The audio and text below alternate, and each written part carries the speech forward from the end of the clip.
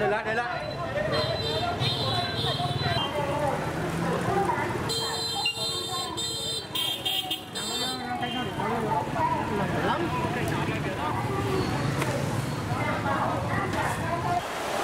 sau khi ra soát đội phản ứng nhanh đã tập trung đưa toàn bộ cái số vi phạm về tại trụ sở công an phường Lê Mau để bàn giao cho công an phường tập trung để xử lý sau khi cái đợt này giải quyết một cách quyết liệt, xử phạt nghiêm túc và tuyên truyền cho bà con hiểu về chủ trương của thành phố là chúng tôi sẽ giải quyết một cách quyết liệt. Cho nên là yêu cầu bà con chấm dứt tình trạng buôn bán ở đây.